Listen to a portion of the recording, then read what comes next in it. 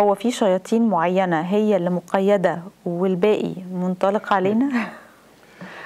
هو طبعا لما يتقال إن الشيطان مقيد معناها المملكة كلها. ومتكتف بمعنى انه ملوش سلطان واسع مش مفكوك يعني. لأن إحنا ممكن نتخيل متكتف زي ما نجيب مثلا كلب ونكتفه بسلسلة فخلاص بقى متكتف ما يقدرش يتحرك.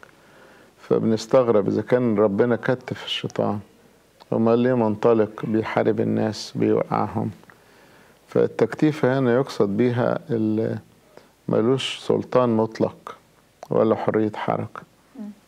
بدليل إن لسه في ناس قديسين وناس بتعرف ربنا وناس بتحب الصلاة وناس بتصوم. أما ساعة ما الشيطان يفك من قيوده ده قبل المجيء التاني هيبقى في ضلالة عظيمة.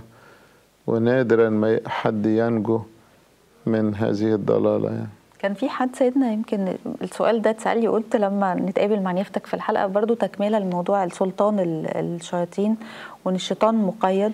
طب ما هو ليه سلطان؟ إنه زي ما عندنا قديسين زي ما بيضل البعض آه ويغويهم في السقوط في الخطية. فليه ربنا مع الصليب ما ايدش سلطانه أو سلطته على الإنسان آه أو تحريضه على الشر آه تقييد كام؟ هو طبعا متأيد تأييد كامل وكل حاجة بس في ناس بيسلموا نفسهم بإرادتهم للشيطان. يعني في ناس تغلط نتيجة ضعف. وفي ناس يعني يحبوا الشر. بحب أفرق ما بين كلمة خطية وكلمة شر. الخطية هي ضعف الشر هو تدبير. يعني واحد قاعد بيخطط إن يعمل حاجة يأذي بيها الناس. صحيح.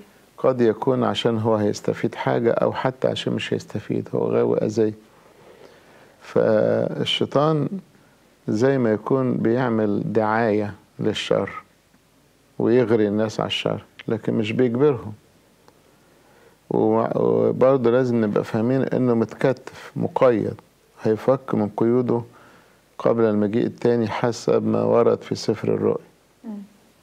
فكل إنسان بيعمل خطيئة أو شر هو مسؤول عن نفسه وما ينفعش يعلق على شماعة إن الشيطان أغواني. طب أنت كنت فين؟